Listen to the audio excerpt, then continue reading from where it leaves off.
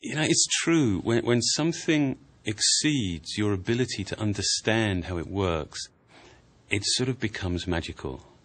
And, and that's exactly what the iPad is. It's hard to see how something so simple, so thin, and so light could possibly be so capable. The iPhone was a revolution, and we learned so much from it and developed so many amazing technologies, all the applications, the multi-touch user interface. It was truly an incredible breakthrough product. We wanted to take all of that and apply that to a whole new class of product. The iPad is the best web surfing experience, the best email experience, the best photo and movie watching experience. It's going to change the way we do the things we do every day. The face of the product is, pretty much defined by a single piece of multi-touch glass, and that's it. There's no pointing device. There isn't even a single orientation. You know, there's no up, there's no down, there's no right or wrong way of holding it.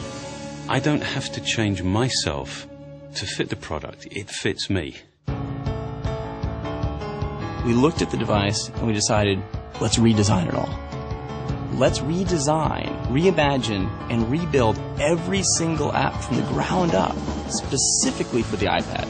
And with this large a display, you get apps that aren't just a little bit better than their smaller counterparts. You get apps that are an order of magnitude more powerful. IPad is the best way to browse the web. For the same reasons that it just feels right to hold a book or a magazine or a newspaper in your hands as you read them, it just feels right to hold the internet in your hands as you surf it. And with a screen this large, you can just see more of the web as you're surfing it. Now, take the New York Times. You can see all the top stories. They're all just right there. If you see something, you just reach out and tap it. It's completely natural. You don't even think about it. You just do. iPad is a world class email client that's incredibly fun but very productive. You can go through huge quantities of email really quickly, and it's fun because you're doing it all with your hands. When you want to compose a new message, the keyboard automatically slides up from the bottom. And this keyboard is practically the same size as a laptop's keyboard. If you want to focus on a single message, just rotate to portrait, and everything else gets out of the way so you can concentrate on the content you care about. iPad is absolutely the best way to view and share your photos. You see every one of your albums there as just a stack of photos.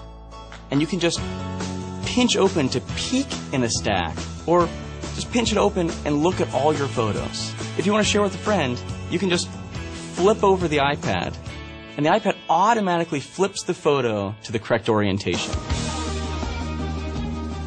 This is an unbelievable device for watching video. The user interface we built for this is just fun. When you see something, you touch it with your finger and it starts playing. There's no delay. The quality of this video is amazing. You can double tap, fill the whole screen, we also built an incredible maps application on here. It's really fast.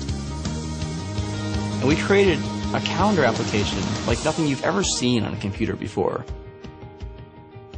Another app we're really excited about is called iBooks. When you couple books with a high-res color display, reading an ebook is just such a pleasure.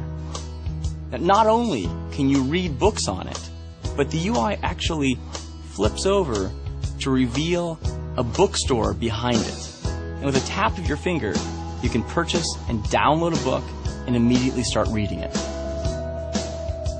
So now we have three phenomenal stores on the iPad the iTunes Store, the App Store, and now the iBooks Store. We built the iPad to run virtually every one of the more than 140,000 apps available on the App Store